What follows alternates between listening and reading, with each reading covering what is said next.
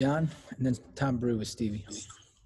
Uh, Coach Allen was talking about that you guys installed that uh, kind of quarterback wildcat type of deal, you know, during the week for Maryland. I mean, why do you think it was so successful in picking up yards for you guys? I know it like the quarterback motions out, takes a linebacker out, and things like that. But why, why would why do you think it was so successful?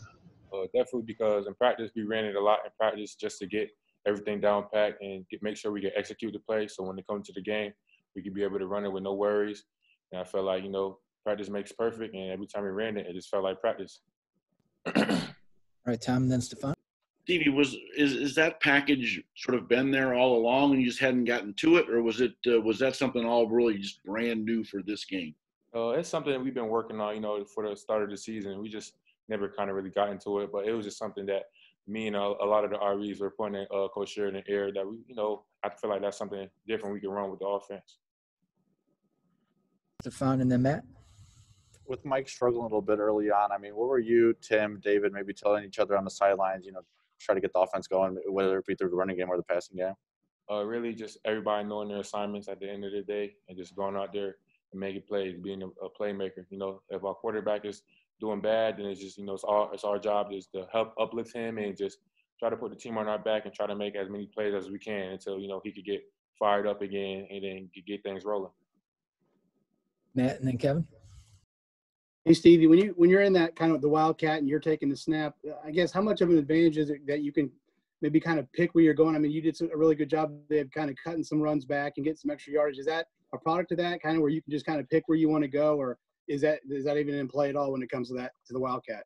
Yeah, it's kind of like a pipe to cut back play. I actually love that formation. That's something that I was very excited that Coach Sheridan added to the playbook. It's really just you know a pipe to cut back and just a zone play, just reading reading the holes and the gaps, and wherever you see a, uh, you know a crease in, just hit it, try to make it play. I feel like that's what I was doing. Kevin, and Zach. Yes, Stevie. It seems like every time Tim Baldwin gets an opportunity, he takes advantage of it. Just uh, how have you seen his growth from here to now, and uh, what uh, how important is he going to be going forward now with Sampson out? Man, with Tim, you know, he he knows how to play his role. I could definitely say that. You know, whenever his name is called, he's just always eager and always just trying to come make a play. You know, just being a, bit, a great player and a great team player. So I feel like Tim is doing a great job of just coming in and just you know running the ball, protecting the ball, and pass prone whenever he has to. And I feel like he's just been picking up since he got here in the in the spring until until today. So I feel like he's learned a lot from each and every one, uh, running back plus Coach Hart, and he's definitely taking it in the key and it's, it's showing. Paul and then Zach. Hey, Stevie, talk, talk a little bit about the adjustments that you guys made at the half to get the offense going, and then your thoughts on, uh, on how Tuttle came in and played. Uh, honestly, we seen that uh, our passing game wasn't really going too well, so we seen that uh, running the ball wise, we, we were doing pretty good. So we felt like coming out in the second half, we just had to run the ball hard and strong and just keep grinding it out for those tough yards, and eventually they, they'll pop.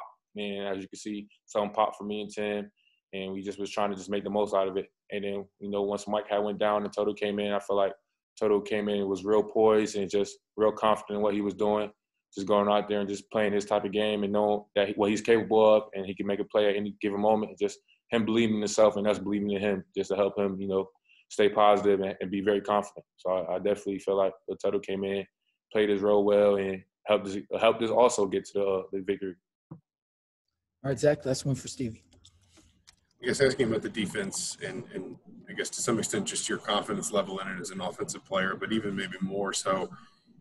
Coach Allen talks about the way this defense creates takeaways, makes big plays. How much of that shows up in practice? I mean, have you ever, I guess, given the ball away to the defense in practice? How how kind of ball hungry are those guys in terms of interceptions and fumbles and things like that? Man, those, those guys are ball uh, just, just ball hungry every time, especially uh, fall camp.